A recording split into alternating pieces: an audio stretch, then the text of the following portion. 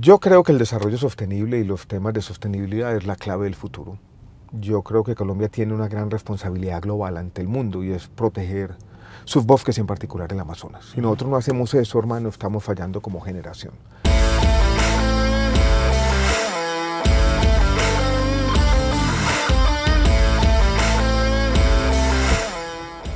Hola Alejandro. ¿Qué más Camilo? ¿Cómo, estás? hermano? Yo bien en la lucha. Bienvenido a. Medellín.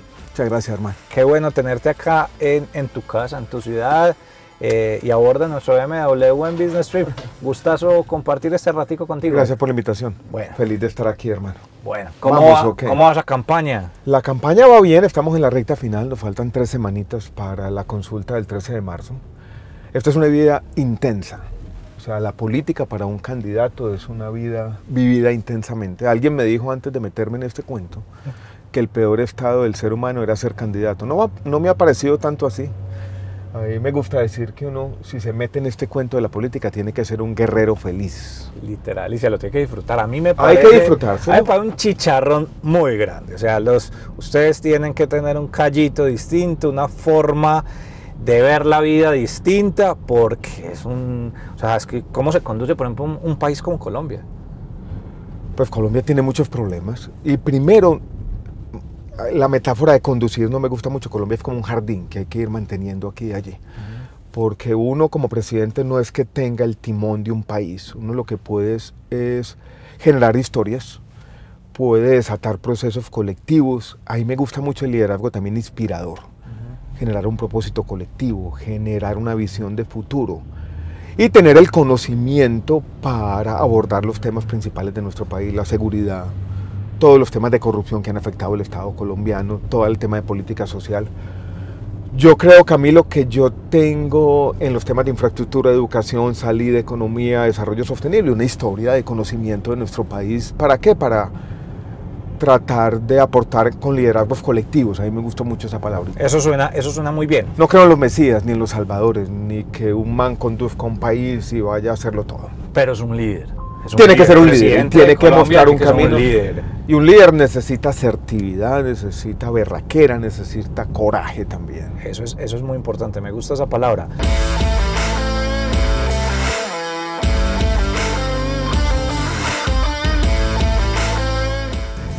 Esto empieza, después la ingeniería en Antioquia, después economista también acá y en los Estados Unidos, pero desde que usted empieza esa formación académica que es clave, es fundamental para, para cualquier ser humano, para cualquier profesional y para cualquier aspirante a la presidencia de, Colombia, eh, usted desde, desde ese entonces ya se visionaba como, como ese líder, ya se veía eh, aportándole y sirviéndole y entregándole conocimiento a, un país como este, se, que se veía como político. Yo no me veía como político, pero sí me veía como funcionario, me veía trabajando en los gobiernos, me veía, cuando me fui a estudiar economía en los Estados Unidos, me veía trabajando en el Ministerio de Hacienda, en Planeación Nacional, en el Banco de la República. Mi papá dio una entrevista, todavía vivo, él murió en el año 2019, el año 2015, y le preguntaron por eso, ¿usted ve a Alejandro en la presidencia? Él dijo, no, él es no nombrable, no elegible. Qué bonito. De alguna manera esto ha sido una evolución reciente, Camilo. Este tema de la política electoral que es muy diferente a ser ministro. Ser ministro es, incluso tiene muchas afinidades con el mundo académico, no va a los debates de control político, estudia. Pero esta vaina de tirarse a la piscina de la política electoral es otro cuento. Surgió tal vez en, en los últimos dos años, cuando yo me vi beneficiario de una confianza pública, tuve una conversación con mi esposa y dije, quizás estar en la Universidad de los Andes diciendo, esta es la reforma tributaria, esta es la pensional, hagan esto de aquí a allá, es una forma de escapismo, yo tengo que tener el coraje. Y tuve un profesor aquí en el Instituto Jorge Robledo de Medellín, Ignacio Álvarez, que en quinto bachillerato había dicho, lo bueno de la vida es complicarla. Hermano, decidí complicarme la vida de la mejor manera.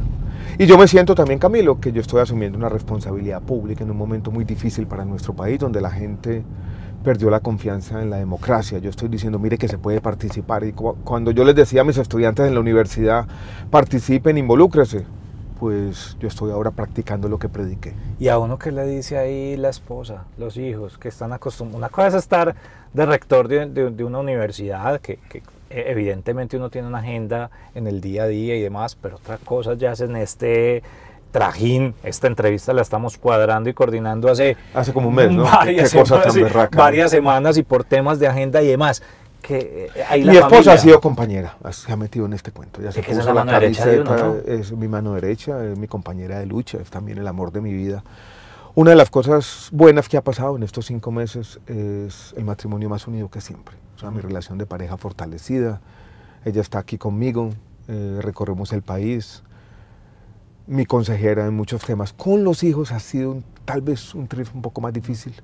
Mi hijo Tomás adolescente con ambivalente, ¿no? Y hoy en día lo tenemos que reconocer, Camilo, la exposición de todo el mundo, incluidos los hijos, con este tema de las redes sociales, es muy berraca. Entonces ellos han generado como, hijo madre, toda esa exposición, queremos como quizás escondernos un poquito.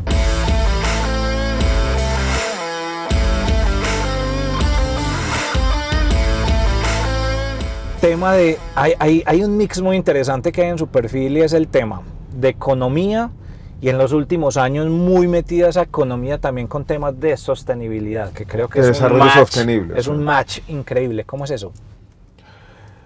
Yo creo que el desarrollo sostenible y los temas de sostenibilidad es la clave del futuro. Yo creo que Colombia tiene una gran responsabilidad global ante el mundo y es proteger sus bosques, en particular el Amazonas. Si nosotros no hacemos eso, hermano, estamos fallando como generación. Y estamos deforestando 100.000 hectáreas, 120.000 hectáreas, 150.000 hectáreas. Yo estuve sobrevolando el Parque Nacional de Chiribiquete en octubre. Es una tragedia, Camilo. Eso no puede pasar. Vamos a generar unos desequilibrios climáticos muy grandes. Y en el fondo detrás de eso hay unos procesos de acaparación de tierras. Se tumba el bosque, llega la ganadería extensiva, después llega la palma africana. Y para eso se necesita primero seguirle el rastro al dinero. O sea, una inteligencia y contrainteligencia. No ir con el ejército a simplemente coger un campesino y meterlo a la cárcel, sino una labor muy grande de inteligencia para desmontar esas organizaciones criminales. Y se necesita también trabajar con las comunidades. Si uno no le va alternativas de vida a las comunidades del Guaviare y no les dice, miren, nosotros vamos a firmar con ustedes unos convenios de largo plazo, 20, 25 años, ustedes van a cuidar este bosque como lo hace Guatemala, por ejemplo. Exacto, porque es que en cuatro no vamos a resolver ese problema. Y usted no puede hacer eso de espalda a las comunidades, la gente necesita vivir.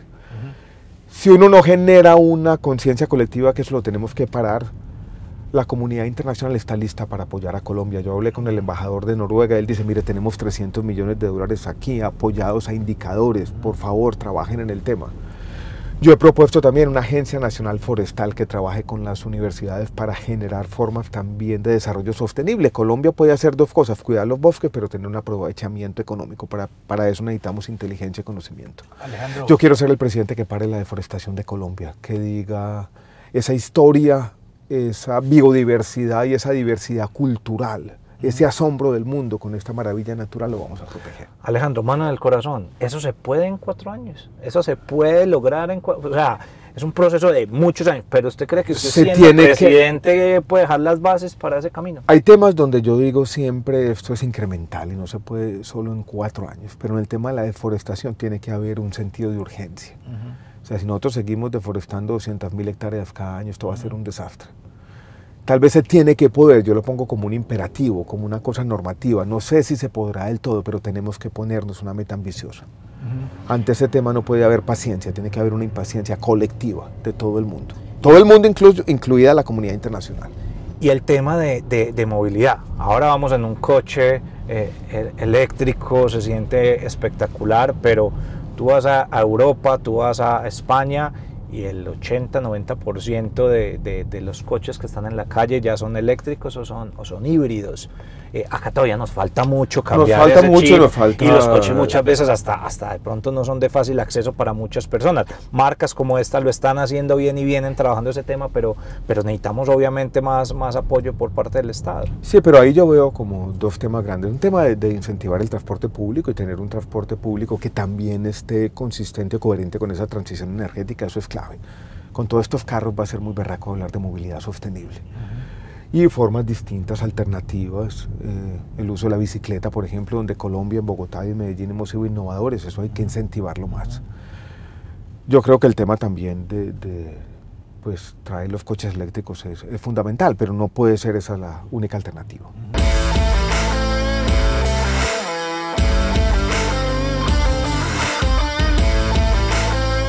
Usted viene del mundo de la academia, viene de, ser el rector de, una universidad importante en, los últimos años. Y eso me da pie para preguntarle sobre el tema de, tecnología y sobre todo el tema también de transformación de, la misma, de las mismas instituciones educativas. Uno ve muchas instituciones y son las mismas aulas, los mismos currículos, la misma forma de hacer las cosas de como se hacían hace 20 años, hace no, 30 hace tres siglos. Hace tres siglos. si uno trae un profesor del siglo XVIII, puede seguir haciendo su clase como lo hacía Exactamente. Entonces, ¿cómo va eso? ¿Cómo, cómo, cómo se, le, se le mete al tema tecnología e innovación, que son dos temas importantes que tienen que ir de la mano? Te voy a decir tres cosas, Camilo. Uno, mi discurso como rector de la Universidad de los Andes tenía una palabra, conectarnos más, una frase las universidades se tienen que conectar más el sector privado también se tiene que conectar más con la academia, tiene que haber más formas de cooperación. En donde queda la Universidad de los Andes, en Bogotá, hay un montón de universidades, hay un montón de doctores, el sector privado no estaba allá. Yo decía, ¿dónde están los centros de innovación? Y tiene que haber una política del Estado que facilite esa conexión. Y creo que el Ministerio Nuevo de Ciencia y Tecnología no ha hecho eso. Yo traté como rector diciendo, por ejemplo, en los temas de cannabis medicinal, ¿por qué no hacemos aquí un foro del berraco y no conectamos las universidades con estas historias empresariales? Nunca se pudo. Y esa va a ser mi obsesión, que el Ministerio de Ciencia y Tecnología sea un puente entre esas dos orillas hoy separadas, de la academia y el sector privado. Primer tema. El segundo, yo creo también en formas donde el Estado se puede involucrar directamente. Y yo quisiera involucrarlo en dos temas, en los temas de salud, que Colombia sea un centro para producir vacunas biosimilares, sueros antiofídicos y demás, que hoy en día... Tenemos mucho talento, mucho, mucho talento. Y hoy los temas de soberanía farmacéutica creo que han cobrado importancia después de la pandemia y los otros, los temas de cambio climático y bioeconomía, que el Estado tenga incluso participación directa allí, que se conecte más con las universidades, pero empresas mixtas en estos dos sectores. Y segundo, yo creo que colaboración con países como Brasil y Corea es fundamental, aprender de ellos, construir más historias. No puede seguir existiendo esa distancia tan berraca entre la academia y el sector privado, esa indiferencia mutua, eso tiene que acabarse. Si Colombia quiere una ciudad como esta, como Medellín, que ha sido ejemplo en eso, en conectar más la academia y la empresa, tenemos que construir muchas más historias. Siempre conectarse, se habla, conectarse, Y siempre se habla mucho de universidad, empresa, Estado, pero suena muy bonito esa triada, pero, pero ¿cómo realmente intentamos que eso, eh, eh, digamos, se fortalezca? Sea un enlazo muy importante porque es que eso es clave. Para que eso funcione de verdad también hay que trabajar con proyectos concretos, que no nos quedemos en la teoría. Vamos a escoger cuatro o cinco temas para construir historias de cooperación y metérsela toda. Tampoco se va a hacer todo en cuatro años, tengo que reconocerlo, Camilo. Pero conectarse, hermano, conectarse, conectarse. Hay que poner. Vamos terminando, vamos terminando este recorrido. Nuestra compañía. Lo bueno no dura, hermano. Lo, bueno, no dura. Esas son esas citas corticas, pero muy buenas. Nuestra compañía se enfoca no solamente en negocios, sino que nos enfocamos muchísimo en temas de emprendimiento y somos hinchas número uno de que el emprendimiento, la generación de nuevas empresas es la clave para cualquier desarrollo económico de, una ciudad, de, una ciudad, de un país. Eh, en los últimos cuatro años se ha hablado mucho de economía naranja, se ha ayudado, no se ha ayudado, pues cada quien tendrá sus conclusiones y demás. Industrias creativas. Industrias creativas, la cultura, todo este tema, pero sin embargo vemos unicornios como Rappi, empresas como La House levantando inversión de grandes compañías o de grandes eh, personalidades como Jeff Bezos, CEO de Amazon. O sea, Colombia tiene talento por todo lado. David muchas historias. que, que se fue a, Brasil. Sí, se fue a Brasil, pero eh, eh, Warren Buffett también invirtiendo en, un emprendedor colombiano. Hay mucho talento, eso, eso indudablemente es ahí. Si usted es presidente, si usted es presidente de Colombia, ¿qué le va a decir a los emprendedores? Voy a, voy a enfocarme, como hay tantos sectores, en uno solo, que es el, primero, el de la economía naranja. Alguien me dijo hace poco ahí en, en la campaña que la economía naranja no se ha hecho un jugo. Esto para decir, yo creo que hay una promesa incumplida, pero yo creo, Camilo, en la cultura. La, cultura nos da identidad. La cultura es una forma de cambio y también de resistencia. Y yo creo que deberíamos trabajar en industrias culturales de verdad.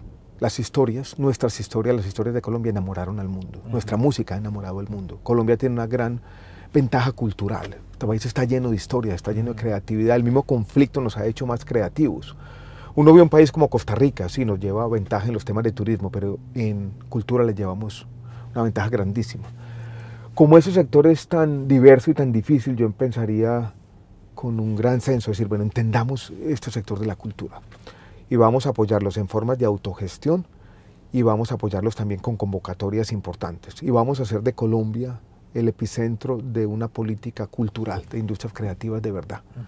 Y eso no nos va a dar solamente plata, historias de desarrollo, sino que nos va a permitir construir una identidad y construir un orgullo propio. Porque la cultura cumple ese papel. Y es que también aporta a lo que somos. Y a Colombia le ha faltado un poquito de orgullo nacional, en mi opinión. Entonces yo quiero ser el presidente de la cultura también. Así me veo. Y que este país haya construido cuatro, cinco, seis grandes historias de industrias creativas en cuatro años. Buenísimo, buenísimo. Bueno, vamos llegando. Camilo, hermano, muchas gracias por la invitación. Qué bueno, qué bueno tenerte aquí, aquí a bordo. Mucha suerte en la y campaña. Felicitaciones, nosotros somos compañeros de lucha también. Así es, que les vaya Celebrar la vida, hace parte de lo que tenemos que decirles a todos. Celebrar la vida como un imperativo Y también. a meterle fuerza ya a esta recta final, que se vienen ya. Vamos a ganar nuestra de- consulta de- del 13 para de consulta. marzo con toda. Encantadísimo. Bueno, muy bien. Un abrazo fuerte, hermano, de todo corazón.